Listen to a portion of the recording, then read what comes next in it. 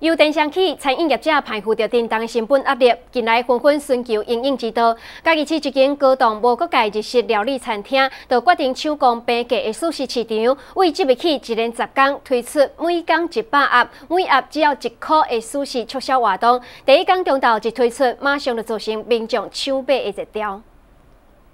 还是抢港到算计时，民众就算做排队嘛，要抢到好食又个便宜的素食啊！因为三大粒豆皮的素食啊，含三地的卷寿司，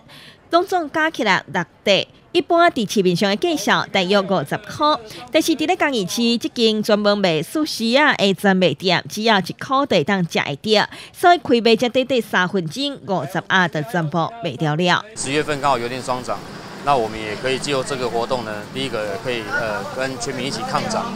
那我们这一次的活动就是我们有十天的时间，一天一百盒的寿司，一盒是一块钱，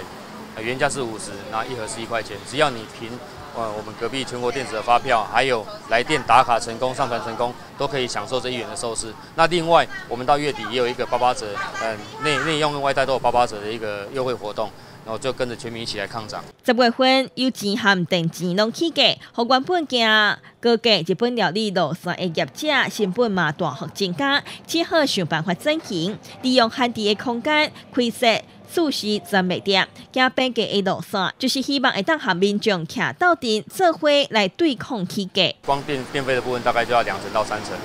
那相对来讲对我们店家是一个很大的负担，所以我们也想说。呃，第一个把比较闲置的空间再再单独出来，做一个比较平价的一个消费的方式，那让让一般的消费者可以用比较比较接近亲民的方式来来来做一个消费。